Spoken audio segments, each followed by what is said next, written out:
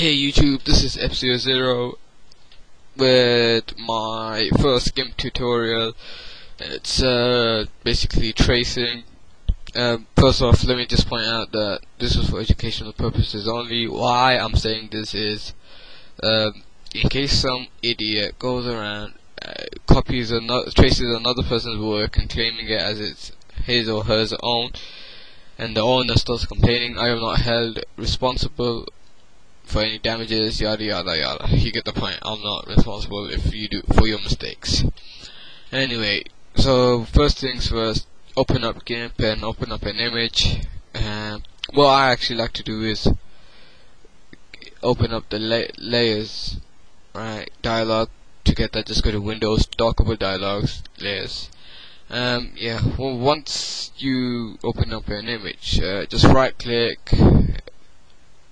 new layer and make sure it's transparent. As you can see I already got one so no need make sure the new transparent layer is above the background. Now uh, now onto the tracing bit. What I tend to use is the pencil tool uh, try and get it to the smallest pixel that as you can. Now onto the tracing just zoom in again this is really useless but you know you can use it for your and you know entertain you know when you're bored and all use for entertainment. Why I'm saying this I really don't know. I guess you can go find images uh, trace some some bits and then trace it and then get another image and trace it another bit and stack them all together before I laugh. Okay, I'm I'm I'm not gonna trace all of this picture. Just doing the eyes, just did the face. Um, yeah, one at the neck. Go around there.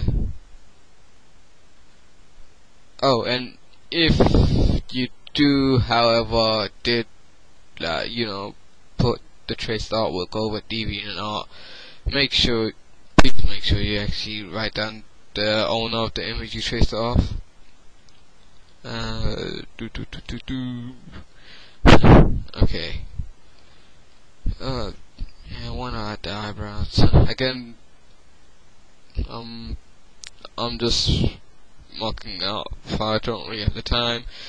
Uh, okay, once you think you got traced all of it, out. Uh, now click on the background and delete the background layer.